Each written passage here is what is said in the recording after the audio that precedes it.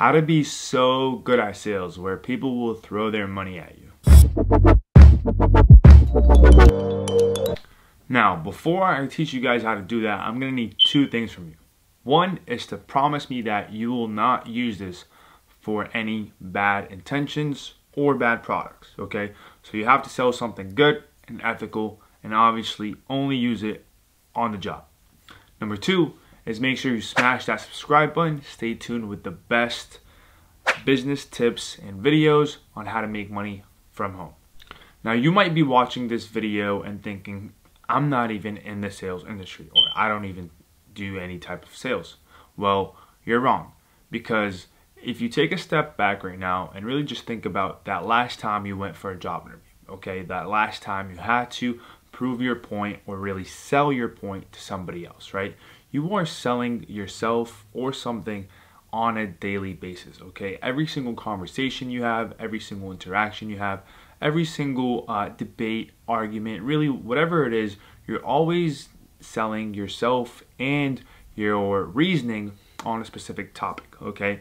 And this is where these four pillars that I'm going to teach you today are going to help and come into place to help you, right, stand out and sell whatever it is you are trying to sell. So think about this, uh, think about these four pillars that I'm going to teach you as, you know, the magic trick you're going to pull out of your back pocket to either sell what you want or get what you want at any given point. Now, without any further ado, let's dive right into it. Now, just so you guys have an idea, I'm already implementing these same exact pillars that I'm teaching you on this video. So if you're still watching this video, obviously it's working. What? For pillar number one, okay, some people call this the pre-frame. I like to call it the promise. What is a promise?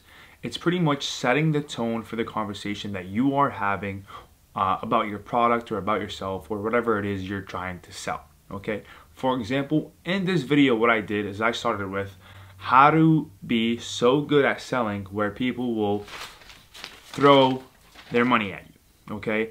And that's exactly how you want to start any type of conversation um, that is related to sales, okay? You always want to set the tone and set the expectation of what the end result is going to be for that other person, okay? What is it what's in it for them okay at the end of the day people are selfish they only care for their own benefit you're watching this video to learn how to be so good at sales, okay? It's for your own benefit. So again, you have to set that promise, you have to set that pre-frame and make sure both people, which is you and the other person you're going trying to sell, are on the same page, right? Each of you know what you're going to deliver and what you're going to receive at the end of the conversation. Pillar number two is going to be the picture, okay? I like to say the imagination or um, gapping the bridge between where the person is and where they want to be once they have your product or whatever it is you're selling okay? You never want to sell something based off its features okay? What's the different what's a feature? A feature is for example uh, i bought a new car. It's all black. It has brand new rims okay? You don't want to sell um, based off the features. You want to sell based off the feelings and the picture when somebody has that product. So for example if I'm going to sell a black car that has really nice rims and a nice paint job, I'm not going to tell I'm not going to tell the person that hey, this car is super cool. It has black paint and black rims. I'm gonna be like, hey, imagine yourself driving that car at night, right? Or on a Halloween night, all black, black rims. You can even be wearing a black man suit, right? Looking like the Batmobile right? So now I'm drawing a picture, that was a bad example, but I'm drawing a picture of the person, right? And what they're going to feel when they have that car.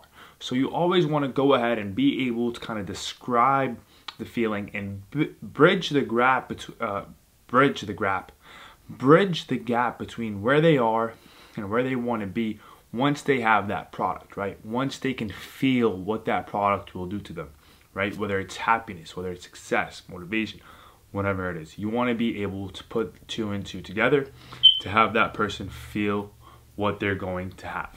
Okay. Same thing when it comes to a job interview. Okay.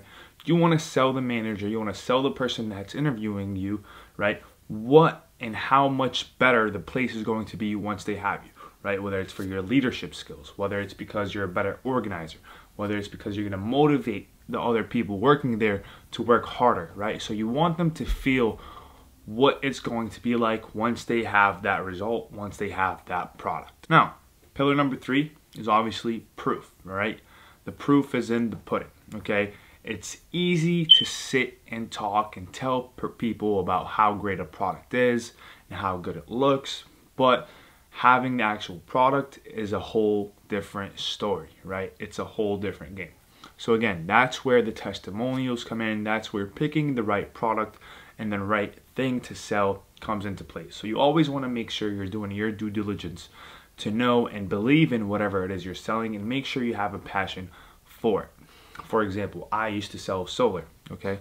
Solar was really good for a lot of people and it was really bad for a lot of people. The reason why it was bad is because obviously when the industry first started, right, um, you know, companies out there were really just pretty much scamming people and not really giving them all um, the features and benefits and the pros and the cons of that solar system when they have it on their house.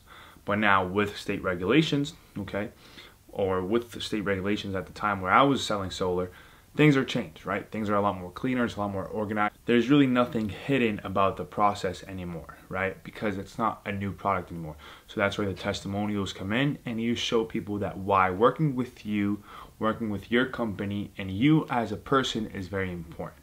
Number four is going to be the pitch. A lot of salespeople think that you have to have a script. You have to master a script in order to be a master at selling this product. That is false, okay? At the end of the day, people buy based off certain psychological triggers like scarcity, like urgency, right? And really being able to dive into those psychological triggers and make the person um, commit to one or commit to your product, whether it's a yes or a no or today or tomorrow, is by being able to tackle those triggers and really being able to fire some of them off. Okay, I'm not going to sit here and talk to uh, talk to you guys about all those triggers because that's a whole different video. Okay, but what I am going to tell you is this: at the end of the day, all you have to do is use these three pillars that we just talked about in order to close the deal on whatever it is you're trying to sell. Number one is going to be the promise, okay? Making sure they understand what exactly here you are going to offer them. Number two is making them imagine, okay? Picture what it's going to be like once they have your product or whatever it is you're selling. Number three, obviously, is going to be showing them the proof, right? Showing them the passion of what you are doing and why you are the right person for what they're looking for. Hope you guys enjoyed this video. Make sure you go ahead and start using these pillars to start selling anything and everything you want. And make sure you drop a comment, like, and let me know your thoughts on this video. And I'm looking forward to seeing you on the next one. Peace.